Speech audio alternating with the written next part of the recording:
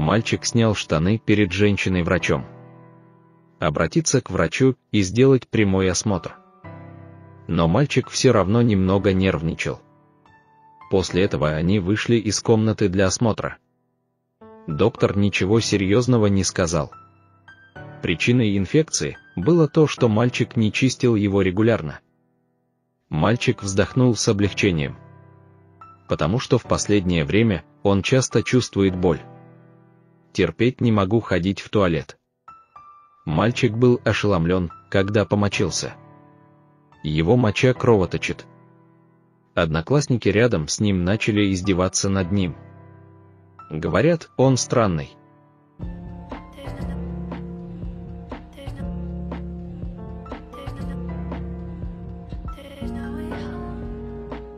Во время обеда ему снова стало плохо. Он не мог удержаться от побега в туалет. Мать с тревогой побежала за ним. Когда мать открыла дверь, мать увидела кровь в туалете. Испуганная мать позвонила мужу. Родители немедленно отвезли его в ближайшую больницу. К счастью, результаты теста были хорошими. Пока он принимает лекарства и регулярно чистит его. Однако мать все же попросила сына взять недельный отпуск в школе. Когда снова в школу? Выясните, что он мочился кровью. Его одноклассники издевались над ним.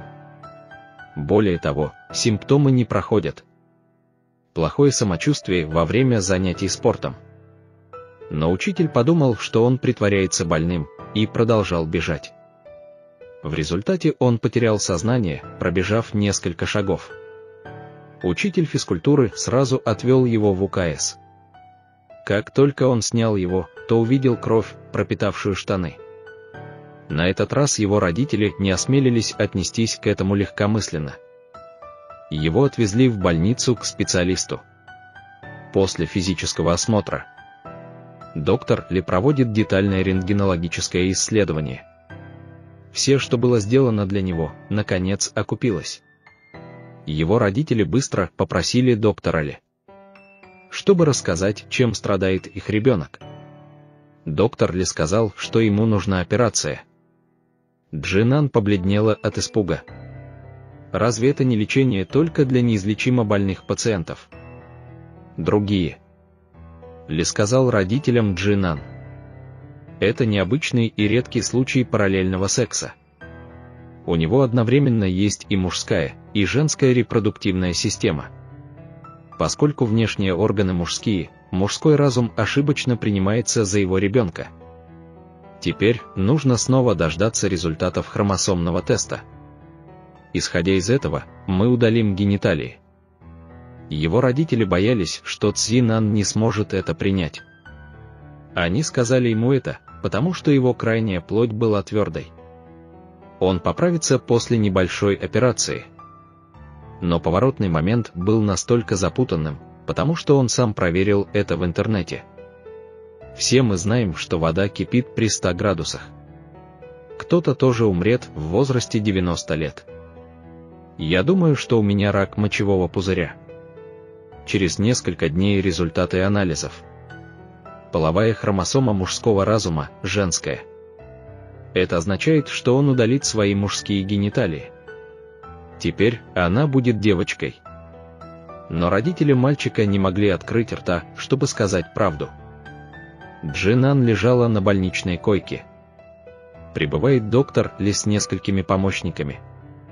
В начале осмотра один из помощников начал фотографировать потому что такие случаи очень редки в мире.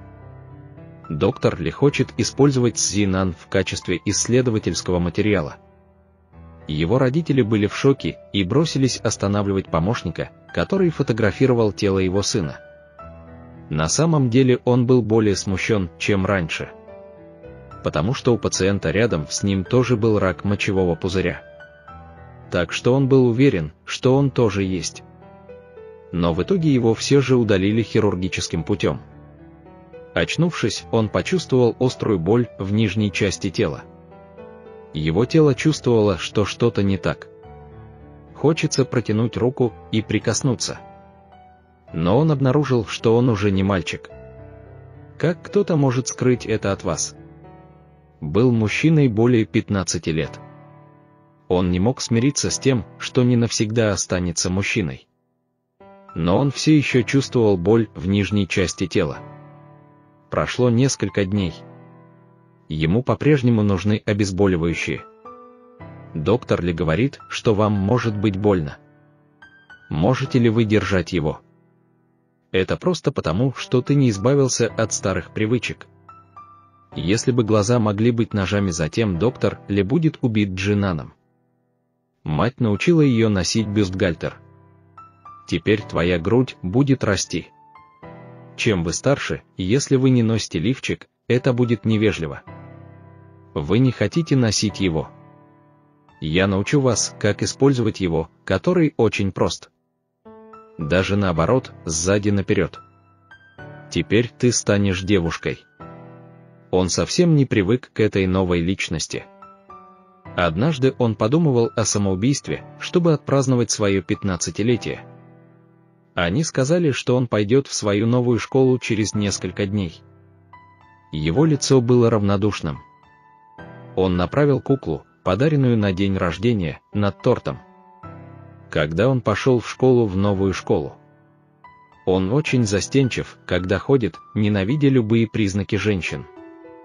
Он встал на подиум нового класса и представил свое имя – Тхилан.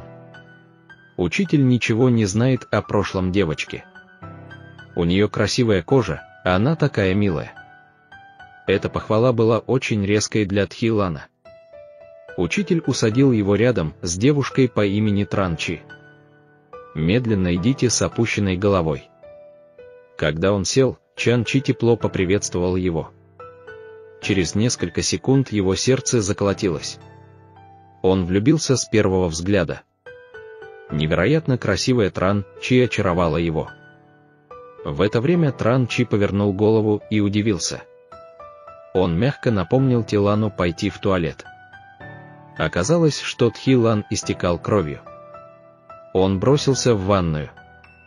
Еще сохраните привычку ходить к мужчинам. Возьмите много ткани. После неразберихи девушка сняла пальто. Затем завязал его вокруг талии и вернулся в класс. Он увидел Транчи, который был добрым и внимательным. Чистил стул Тилана. Увидев это, Тилан был глубоко тронут и смущен. Транчи слышал, что это был первое время, он испытал менструация. Он даже не знал, как им пользоваться. Поэтому он предложил обучать Тхилана. Идя в супермаркет, Транчи показывает Тхилану тампоны на выбор. Тилан не понимает, поэтому просто выбирает. Эти двое становятся лучшими друзьями. Сходите в салон выбрать наряд, сделать педикюр, подстричься проведение времени вместе. Подарите немного любви этому очаровательному новому другу. Мальчик из соседнего класса передает Тилан любовное письмо. Девушка закричала, как будто Тилан съел муху. Транчи пошутил, что, возможно, Тхилан не любит мальчиков. Тилан сразу разозлился. Но его друг сказал это из-за своего смущения. Личность этой девушки очень удивила его, когда он увидел фотографии горячих девушек в журналах. Тилан не могла не засунуть руки в штаны, как и раньше. Ничего знакомого не нашел. В этот момент он понял, что сегодняшний день отличается от прошлого. Но Тилан все еще не могла контролировать свои чувства. Он написал сообщение, чтобы пригласить Тран Чи поиграть. Как только он вошел в дверь, его привлек компьютер Тилана. Оказывается, они оба фанаты этой игры. Транчи включил свой компьютер, чтобы продемонстрировать свои технические навыки. Он увидел фотографию Тилана, сделанную в детстве, на экране компьютера. Но у Тилана не хватило смелости сказать правду. Он сказал, что это его покойный брат. Транчи не придал этому большого значения. Утешая его, чувства Тилана к нему углубились. Потому что скоро день рождения Транчи. Тилан тщательно сделал для него открытку на день рождения. Затем текстовое приглашение домой на его день рождения. Двое садятся в автобус. Затем непристойный мужчина сел рядом с Тилан. Его руки постоянно касались бедер Тилана. Он никогда в жизни не думал. У него будет извращенец, касающийся его бедра. Тилан рассказывает Транчи. Затем Транчи быстро вылил целую бутылку лака для ногтей на лицо извращенца. Тхилан все больше и больше привлекает Транчи. Но мать Транчи не была рада видеть Тилана. Тхилан обеспокоенно спросила, «Я не нравлюсь твоей матери. Не волнуйтесь и отведите его в тихое место». Транчи сказал, что его мать не хотела, чтобы кто-нибудь знал, что она развелась. Итак, он никогда не позволял Тран Чи забирать своих друзей домой. Итак, Тхилан был первым другом, который узнал об этом. Увидев, что Тран Чи доверился ему, Тилан наконец собралась с духом. Тилан признается в своем врожденном заболевании. Сказал, что недавно перенес операцию. Из мужского превратился в женский. Услышав это, он не просто предвзято относился к Тхилан. Но он также обнял Тилана и сказал, что не возражает. Он также пообещал держать это в секрете. Но всего через несколько дней тайна раскрылась. Сними нижнее белье и проверь. Группа школьниц, прижав его к стене, наблюдала за его хирургическими разрезами. Бессильный отказаться. В этот момент Тран Чи тоже подбежал, чтобы прогнать всех девушек. Затем он крепко обнял Тилан и спросил, в порядке ли она. Но Тхилан посмотрела на подругу с ненавистью. Потому что он выдал секрет. Поэтому Тхилан оттолкнул его, не желая снова даже смотреть на своего лучшего друга. Тилан заперлась в своей комнате. Вернувшись домой, маленькая девочка села на кровать и заплакала, чтобы выразить свой гнев. Тран Чи тоже вернулся в класс. Когда она увидела, как ее одноклассники говорят о лесбиянках, Тран Чи сердито посмотрел на него. Но он сказал только Фаму. Потому что за несколько дней до... Фам заглянул в школьную сумку Тилана. Мальчик, влюбленный в Тилан, пишет ей письмо. Фам Май хотел посмотреть, что он написал.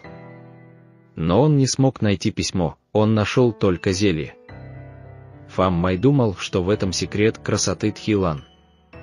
Так он и взял название препарата. Той ночью девушку назвали Транчи. Что препарат является антидепрессантом. Он также рассказал об этом своим родителям. Родители правонарушителя думали, что Тхилан был психически больным, который в любой момент мог заболеть и причинил боль любимой дочери. Поэтому они планируют сообщить об этом в школу. Чтобы Тхилан бросил школу. Чтобы доказать, что Тилан не психически болен. Чан Чи должен был сказать, что Тилан был человеком, и его разум был нормальным. Так что на следующий день когда экзамены перекинулись на школу. Он видел, как все вокруг странно смотрят на него. Маленькая девочка думала, что это из-за того, что она не заботилась о себе. Но он не знает, что его тайна известна всем. Как только он вошел в класс, он увидел плачущего Транчи. Когда Тхилан подбежал к нему и спросил, что случилось, Транчи продолжал извиняться.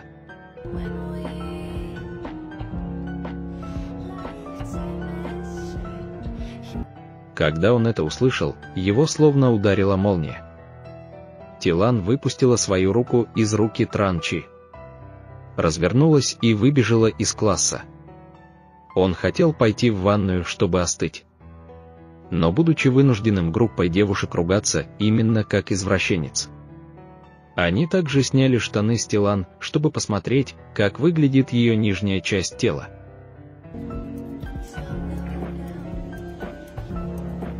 После этого инцидента Тхилан день и ночь молчала в своей комнате. Трудно успокоить ее мать, что она идет к доктору Ли. Тогда ее мать с удивлением узнала, что она не принимает антидепрессанты. Ее собственные гормональные препараты тайно изменили ее и распространились. Лежу за компом опять в коме. Он увидел себя мальчиком, который подошел и пригласил Транчи. Потом он шел к морю, пока не утонул. Когда он вдруг проснулся, он лежал в постели в доме своих родителей. Девушка бросилась на его крик. В конце концов, Тхилан не выдержал и спросил, почему он превратил ее в девушку. Его родители могли только объяснить. Доктор Ли говорит, что без операции шансы заболеть раком очень высоки. Если женская половая система удалена, он потеряет способность к размножению. Но Тилан предпочел бы быть бесплодным мужчиной, чем женщиной. Несколько дней спустя Тхилан попросил своих родителей пойти один. Его родители не могли заботиться о нем вечно так что у них нет другого выбора, кроме как согласиться пойти к доктору Ли. Только что вернулся из США. Именно благодаря делу Тхилана стало известно. Затем Тилан спросил его, зачем ему оперировать? Так что теперь он не знает, мальчик это или девочка. Доктор Ли говорит, что спас ее. Хотя он воспринимает это как средство для достижения успеха но он все еще верил, что спасает ее. Потому что он превратил Тилана в нормального человека. Но моя жизнь совсем не нормальная. Потому что Тилан никогда бы не узнал этого так называемого благодетеля. Он разрушил мою жизнь. С тем же успехом я мог бы уничтожить твою работу. Сказав это, он встал, чтобы уйти. Доктор ли не понимал, что он говорил? Но он не думал об этом. Поэтому он пошел в цветочный магазин, чтобы купить букет подсолнухов. Торговец горячо пригласил его вернуться в другой раз. Услышав это, Тилан на мгновение остановился. Но потом тихо ушел. Он передал букет своим родителям с пустым выражением лица. Они также хвалят, что после того, как она стала дочерью, ее эстетика улучшилась. Тилан не сказал ни слова. Потом обратно в его комнату. На ней было женственное белое кружевное платье. Оделась красиво. Он достал духи и распылил их на запястье. Как опьяненный ароматом. Он танцевал по комнате. Увидев себя в зеркале, медленно улыбнулся. Этого они и ожидали. Это также самая успешная работа доктора Ли.